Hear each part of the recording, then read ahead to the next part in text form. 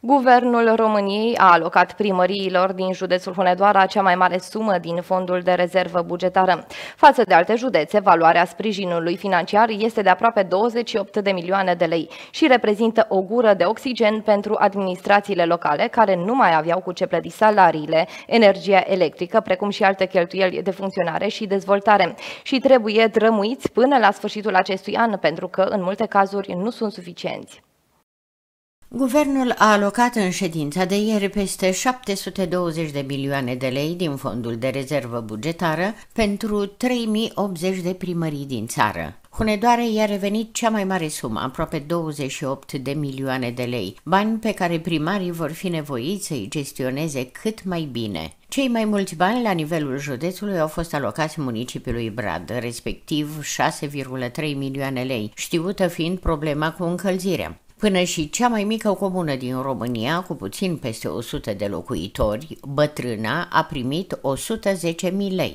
Guvernul României condus de prim-ministru Nicolae Ciucă a alocat prin hotărâri de guvern din fondul de rezervă bugetară o sumă foarte importantă pentru județul Hunedoara și pentru fiecare unitate administrativ-teritorială în parte.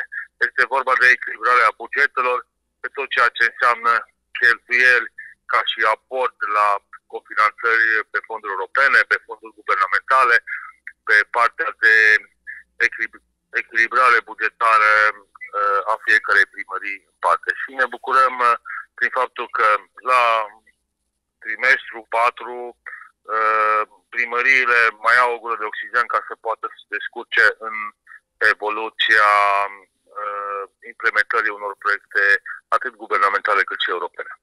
Încă de la sfârșitul verii, primăriile au lansat un semnal de alarmă cu privire la faptul că nu vor mai avea bani de funcționare din cauza inflației, a majorării fondului de salarizare și a exploziei prețurilor la combustibili, gaze naturale și energie electrică. Așa că fondurile alocate vin ca o gură de oxigen, însă nu prea mare, pentru că puțini dintre primari au primit atât cât au solicitat. Am primit o sumă quantum de 200 de mii de lei, adică 2 miliarde de lei uh, vechi.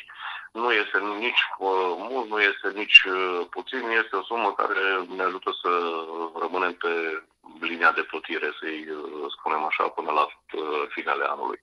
Cheltuielile, din uh, păcate, sunt foarte mari, prețurile au crescut în ultima perioadă pe toate eșaloanele, implicit au crescut și cheltuielile. Am încercat să ținem uh, acest lucru sub control și uh, să avem uh, o gestionare mai mult decât bună a banului public. Eu uh, sunt convins că am reușit până în acest moment și orice sprijin este binevenit.